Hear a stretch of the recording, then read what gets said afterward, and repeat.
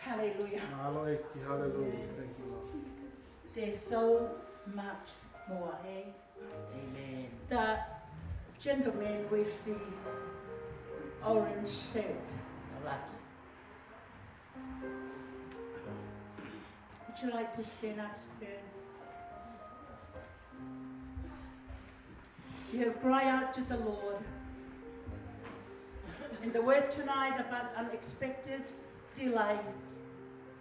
And I just see you as one that have stayed And you have cried out and cried out. and you have cried out. And you have cried out. But I want to say to you tonight, God sees the cry of your heart. That God sees you. Yes, amen. And this is the beginning of a new day and a new season. Mm. The fire the Holy Ghost is coming upon you in a new and a fresh way.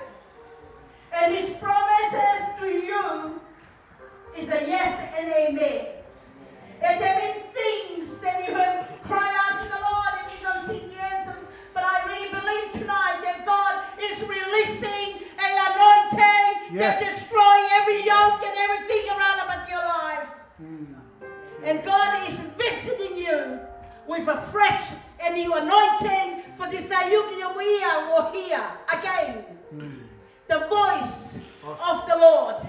And you can arise as a mighty man of valor. You can arise as a man that has been anointed for this season.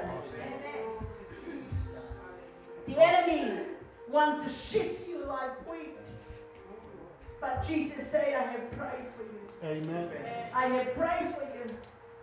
I have prayed for you. Awesome. Father, I just pray tonight that you release. Oh, Rabashinia, Baba, Baba, Kuria, Hallelujah. Yes. upon his life tonight. Father, we thank you. There is unexpected delay. But Father, there is the suddenly, Lord. The suddenly that you bring in. And you can bring fulfillment into that in the name of Jesus. The gentleman in the bag with the white hair.